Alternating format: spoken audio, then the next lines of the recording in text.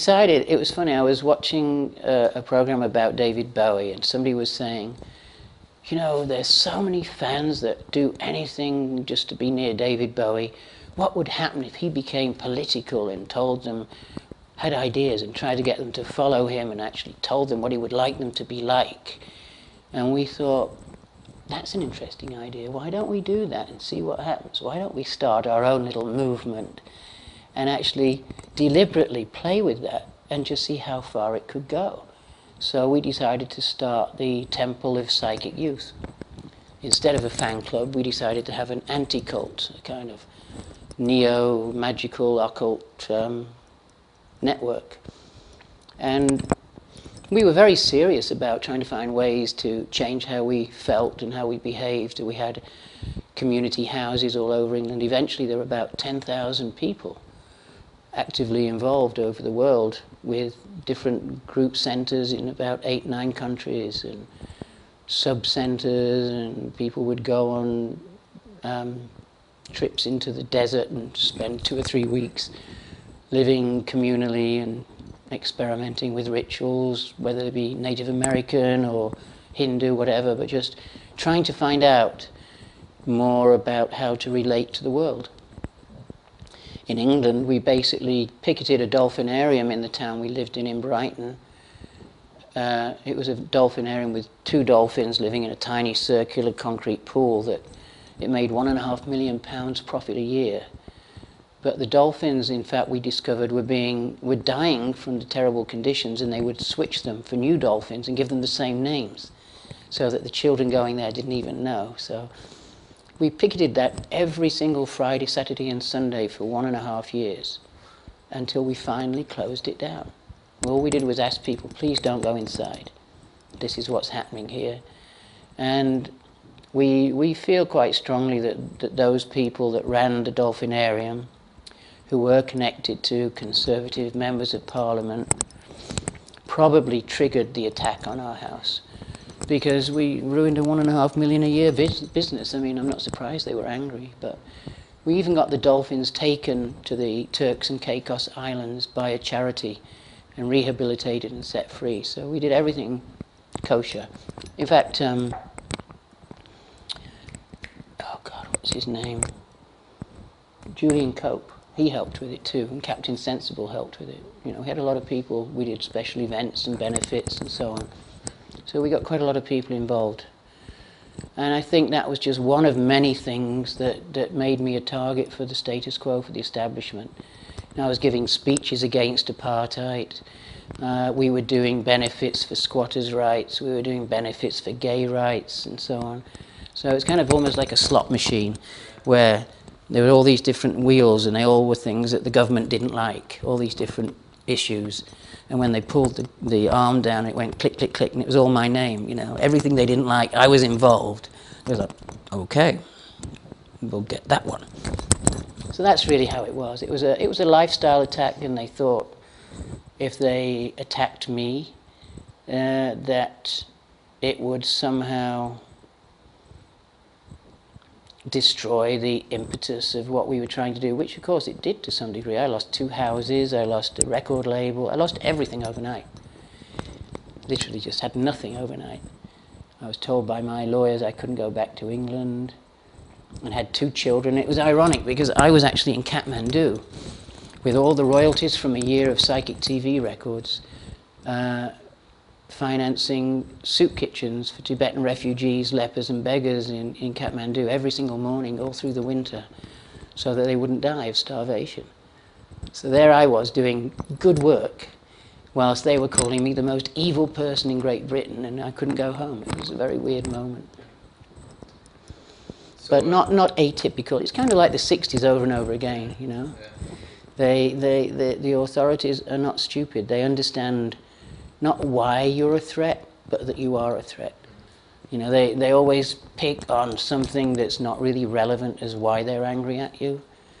And yet they know that there's something about you that's subversive. And in a way, that's true for everybody. Anybody who uses their imagination or refuses to just follow the line that they're their family and, and friends expect. Anybody who, who doesn't do that is a threat to the people who've surrendered. You know, it makes them uncomfortable that you've not chosen to surrender. It makes them angry that you're prepared to fight to be different, to fight to be true to yourself. And so it's just the same thing on a bigger scale for me. You know, I made more people angry because I was prepared to refuse to do things the way they would like. And, and that is really the source of a lot of fear for people who've already given up hope for their life. There's two kinds of people in the world the ones who give up hope very quickly, and the ones who still dream of being different and doing something special. I got this fax when I was in Kathmandu, and it said, There's trouble at home, don't come back. So I then went, had those days you had to walk back into the middle of Kathmandu just to phone home. So I went back, phoned, found out what was going on, went back to my hotel room and thought, now what happens? You know, uh, I went and saw a Tibetan Rinpoche that I was working with and through a translator said, you know what, I'm in exile now too. And we both laughed. And I said, what shall I do? And he said, go to America. I said, I don't want to go to America. I don't want to go to America. Why, why America? So I, I kind of cheated and went and saw a Hindu holy man, the Yaguri Baba, and said, where should I go? and he said, America. Which I thought, oh shit, no, not America. Hmm. So I went back and I was sitting there and I was looking around and I noticed this envelope when I'd been leaving England, I just grabbed the mail from by the door, thrown it in a bag, and forgotten about it.